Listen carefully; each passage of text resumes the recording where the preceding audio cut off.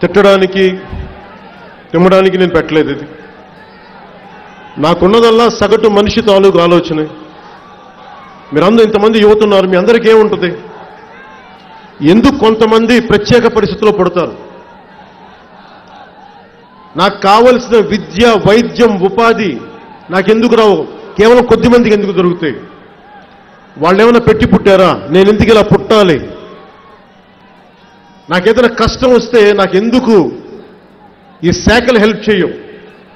నాకెందుకు ఈ దేశం హెల్ప్ చేయదు? ఎందుకు నాకు ఈ సమాజం నిలబడదన్న కోపం ప్రతి సగటు మనిషిలో ఉంటుంది. నేను కూడా అలాంటి సగటు మనిషిని. నేను కూడా అలాంటి ప్రశ్నలు అనుకున్నాను. నాకు మన దేశం వాళ్ళ త్యాగ మన మహనీయుల త్యాగాలు నాకు బాధ్యతని చెప్పాను దేశభక్తిని పెంచింది. కష్టజీవులకి అండగా ఉండమని చెప్పింది. సినిమాలోకి వెళ్ళాను చేశాను కానీ నా అనుక్షణం నా మనసు కష్టాల్లో ఉన్న ప్రజల గురించి ఆలోచించింది నా మనసు. ఉద్యోగం ఉపాధి లేని యువత గురించి ఆలోచించింది నా మనసు. సో నాకెప్పుడు నా గురించి నేను ఎప్పుడు ఆలోచించను. వాస్తవంగా చెప్పాలంటే నా గురించి చేసిన పోరాటం ఒక తొలి ప్రేమ నుంచి ఖుషి దాకా చేసిన పోరాటం. ఇది నా కోరికలు లేవు నాకు. ఖుషి తర్వాత అనుకున్నాను. ఇంతకు నుంచి పెద్ద స్టార్ అవ్వచ్చేమో ఇంకా ఎక్కువ డబ్బులు రావచ్చేమో. జాతీయ స్థాయిలో పేరు రావచ్చేమో అంతర్జాతీయ స్థాయిలో పేరు రావచ్చేమో ఇంకా సాధన చేస్తే.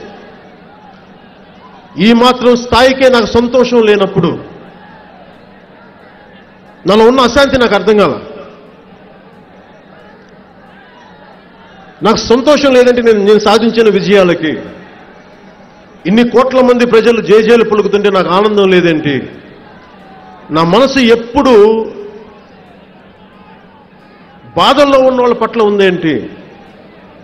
ఆ కష్టమే నన్ను ఆనందంగా ఉండనివ్వలేదు. నేను ఈ రోజున ప్రతి యదవ చేత ప్రతి సన్నాసి చేత మాటలు అనిపించుకుంటా ఉంటే నాకు నిజంగా బాధలేదు ఎందుకంటే నేను ఇలాంటి యదవులు ఇలాంటి సన్నాసులు చేత మాట అనిపించుకోకుండా బతికేయగలను. నాకు ఆ జీవితం ఉంది నా చేతుల్లో.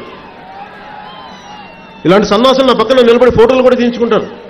పాలిటిక్స్లోకి రాకపోతే. కానీ నాకు తిట్టించుకోవడం ఓకే.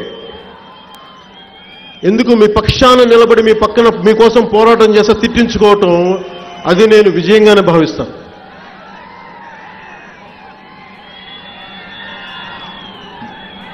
కేవలం మన కోసం జీవించే జీవితం కంటే కూడా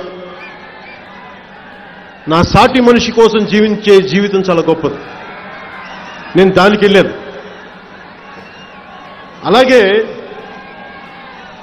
నాకు చిన్నప్పటి నుంచి పుస్తకాల్లో మనందరికీ మనందరికి చిన్నప్పటి నుంచి పుస్తకాల్లో దేశభక్తి రాజ్యాంగం దేశ దేశం సంబంధించిన విధులు సామాజిక బాధ్యతలు చెప్పి చెప్పిన రాజకీయ నాయకులు పుస్తకాల్లో మనం చదివించి బయటికి వచ్చి చూస్తే ఒక్కొక్క రాజకీయ నాయకుడు బాధ్యత లేకుండా మాట్లాడి వాడు అధికారంలో కూర్చోగానే మనం వాడి బానిసలాగా వాడి చూసే వ్యక్తిత్వాలు ఇవన్నీ నాకు చిరాకు కలిగించి. సినిమాల్లోనేమో రెండున్నర మూడు గంటల కష్టాలు తీర్చేయచ్చు. నిజ జీవితంలో ఉద్దానం కష్టం ఈ రోజుకి తీర్చలేను నేను. ఇవన్నీ చాలా బాధ కలిగించి విభజన సమయంలో విభజన జరిగిన తీరు చూసి పాలిటిక్స్ ఒక పొలిటికల్ పార్టీ పెట్టినప్పుడు నా దగ్గర ఎవరు లేరు. ఆ రోజు ఇంత సమూహం ఉంటుందని నాకు తెలియదు నేను అందరిలాగా ఏడుస్తా మెటుకులిరుస్తా ఇంట్లో కూర్చోవాలా? లేదా నా దేశం కోసం నా సమాజం కోసం నేను ముందుకు రావాలని నిర్ణయించుకొని చాలా సంవత్సరాలు ఆలోచించి ఆలోచించి మహా అయితే నా ప్రాణం పోతుంది. కానీ ఒక సత్యాన్ని బలంగా మాట్లాడిన వాడిని అవుతాను. ఎందుకంటే నాకు పిరికితనం చిరాకు. మహా చిరాకు